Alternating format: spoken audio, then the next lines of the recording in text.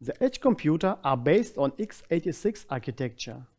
Here we offer you three performance levels with Intel Atom and high performance i7 processor, the right power for every application. On the device are Debian Linux and Docker pre-installed. This enables fast and uncomplicated commissioning.